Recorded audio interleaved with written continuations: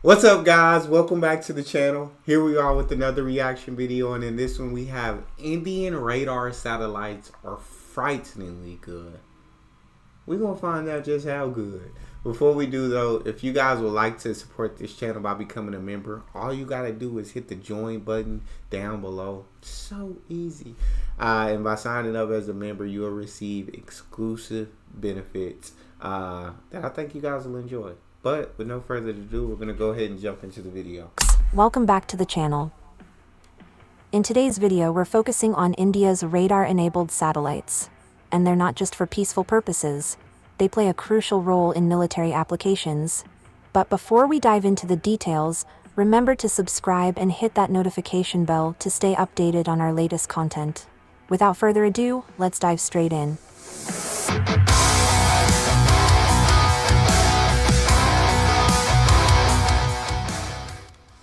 India, one of the satellite powerhouses, has a whole bunch of these amazing machines up there.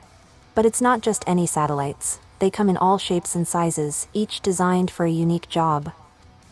And here's where it gets interesting. Some of these satellites are like spies, pulling double duty oh. for military and civilian tasks.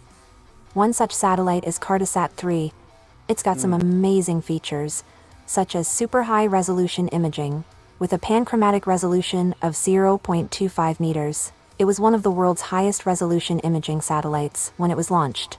Dang. But here's the thing when it's cloudy or dark, regular satellites with optical cameras can't spot hidden stuff on the ground. That's where radar enabled satellites swoop in to save the day. Makes sense. India has four radar enabled satellites in the RISAT series.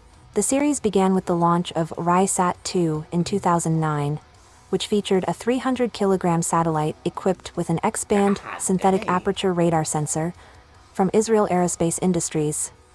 In 2012, India launched RISAT 1, an indigenously developed radar imaging satellite.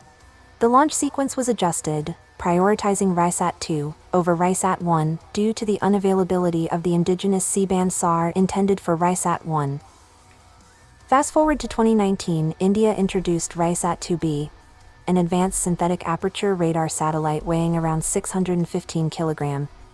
It can operate around the clock, in all weather conditions, and is Oh. particularly useful for real-time monitoring of the border region, helping detect unauthorized movements or intrusions. That's legit so crazy. Just, I mean, the technology that humanity has come up with, just satellites in general, is absolutely insane to me. Uh, but then to make these amazing satellites that can operate in any weather, that can detect uh, any particular movements at the border, that can, uh, and then if weather's bad, I guess, or fog or whatever, these optic satellites can't see. Now you got these incredible radar satellites going to work around the clock. It's truly, truly something special to me. RISAT 2B is capable of operating in very high resolution radar imaging modes, including 0.5 meters by 0.3 meters resolution, and can operate in various polarization modes, including HH, HV, VV, and VH. HH polarization is employed to study vegetation and forests by focusing on volume scattering from trees and vegetation, What? HV polarization is useful for identifying differences in radar backscatter from various surfaces, including man made structures and urban areas. The satellite's ability to capture time series SAR imagery is valuable for change detection. Military personnel can compare images taken at different times to identify changes in the landscape or infrastructure, such as the That's so construction of new roads or structures that might indicate unauthorized activity. VV polarization is often used in urban area analysis, land cover classification, and monitoring changes in soil moisture. VH polarization enhances radar backscatter for detecting man made objects, structures, and infrastructure, making it useful for detecting concealed or camouflaged objects. This capability is critical for identifying potential threats attempting to hide or evade detection. RISAT 2B, placed in low Earth orbit, offers relatively fast revisit times compared to satellites in higher orbits. This orbit ensures consistent lighting conditions in imagery and is suitable for Earth observation. While low Earth orbit is so satellites awesome. provide fast revisit times, they have limitations, including limited coverage of the Earth's surface during each pass, and the need for a larger constellation of satellites to achieve more frequent revisits over a broader area. In the event of cross-border incidents or conflicts, RISAT-2B can help military authorities track the movements of enemy forces and assess the situation, providing an upper hand in terms of situational awareness. Yeah. To sum it up, India's radar-equipped satellites, like RISAT-2B, play a crucial role in real-time monitoring, significantly bolstering national security. Thanks for tuning in today.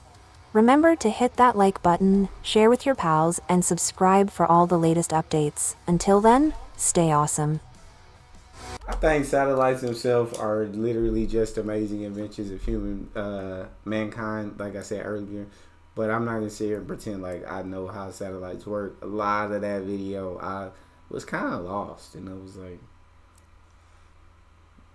a lot of the explanations I just couldn't understand because I'm. When they said what they can do, get that, understand that 100 percent uh, when they said what kind of conditions they operate in and they started using some of these words pertaining to satellites, just it goes over my head. Well, I hope you guys enjoyed it. Please don't forget to subscribe, hit that like button.